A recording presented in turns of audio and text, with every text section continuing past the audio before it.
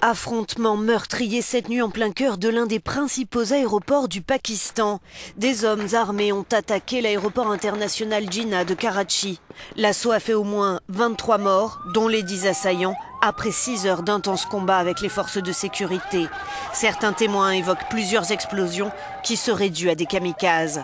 L'attaque n'a pas été revendiquée, mais le mode opératoire n'est pas sans rappeler celui des talibans pakistanais. Ces violences interviennent alors que le gouvernement cherche à convaincre les islamistes d'engager des négociations pour mettre un terme à des années de combat.